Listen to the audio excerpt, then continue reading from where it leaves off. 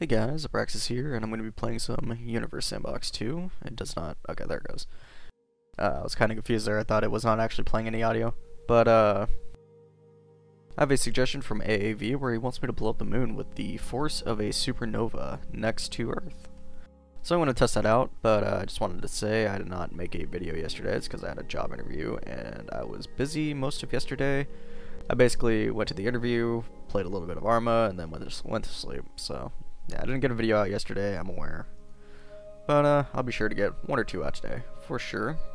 That including this video right here. So there is a simulation actually very similar to this. Let's see if I can find it. It should be under explosions, I think. Ah, yes, Earth and exploding moon. Earth explodes? Nope, the moon explodes. Okay, so the moon explodes next to Earth. And it just drops tons of particles next to Earth. But it doesn't really do too much, now does it? And uh, I think there's one of Earth exploding close to the moon. And there it goes.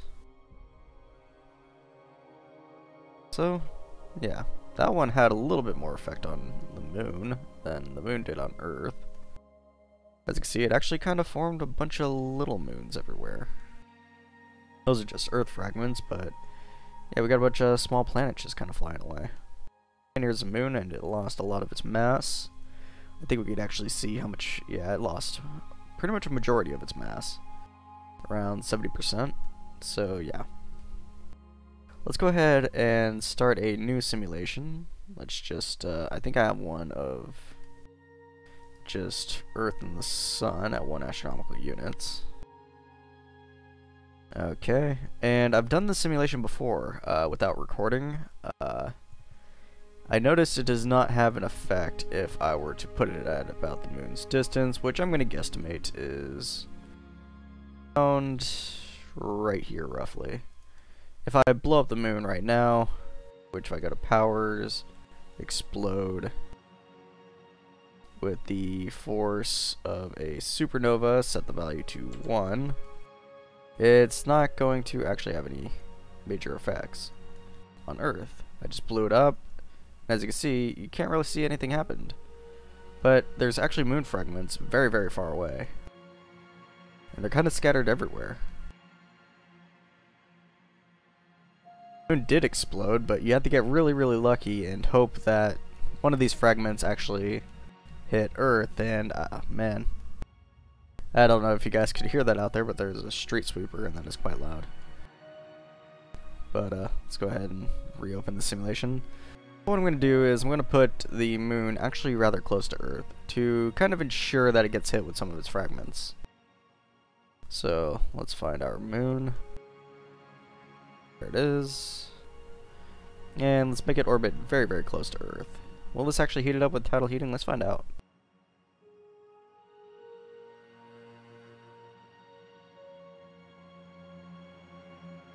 Uh, doesn't seem to be. But uh, let's go ahead and slow down the simulation to less than real time because this explosion is going to be very, very powerful. And let's explode the moon with the force of one supernova. Ooh, one of the fragments went right into Earth, it looks like. You see a shockwave on Earth. Doesn't look like it was really hit with too many particles, unless that's just the force of the moon exploding right next to Earth. Which it could be.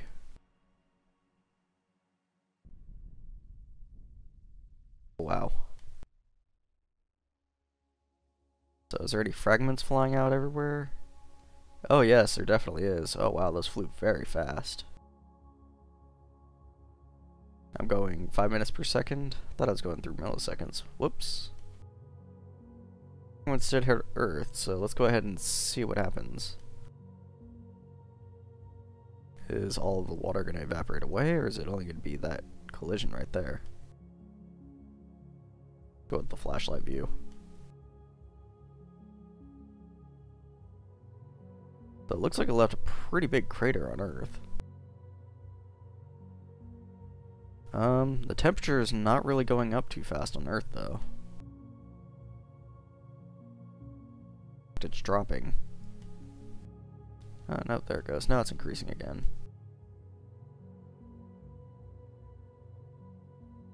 That's interesting. I thought that would be a lot more destructive than that actually was. But it barely rose the temperature of Earth at all. Let's just pause it real quick. There's still green life all over Earth, so it's not like it was too devastating to actual life on Earth. As you can see, there's a massive crater here, and we're kind of missing a big chunk of Africa. Oh, and South America might be flooded. Or it might be partially destroyed too. Actually, I think that's the case. I don't think it's flooding, or else all these areas would be a little bit more uh, flooded as well. But yeah, it definitely took a chunk of South America and Africa. And run the simulation again. This time with the moon very, very close. In fact, basically Roche limit close. So let's go ahead and slow down time, this time to milliseconds. There we go. Let's add the moon in incredibly close. Like this close. And that should start being torn up by tidal forces, but I'm not going to hit play and watch it get destroyed. We're just going to blow it up right now. You can see the fragments already way out here. You see them spread very fast. That's millis. That's that's less than uh second per second, or even half a second per second. And it looks like two collisions from what I can see.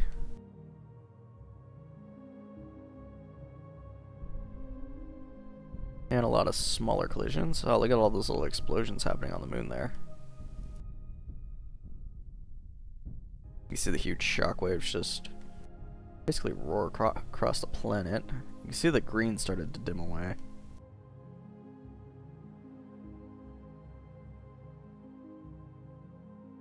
Oh, wow.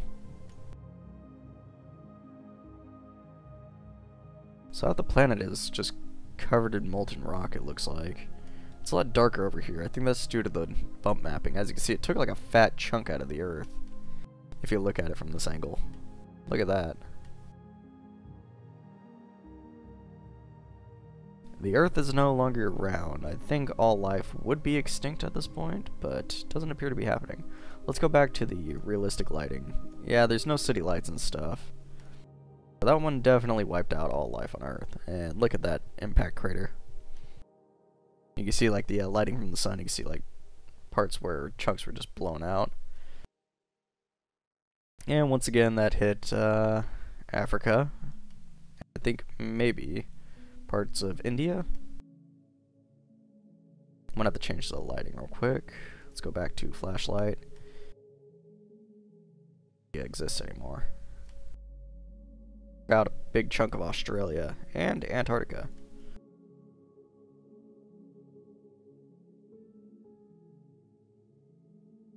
Let's go ahead and fast forward it to where it cools down.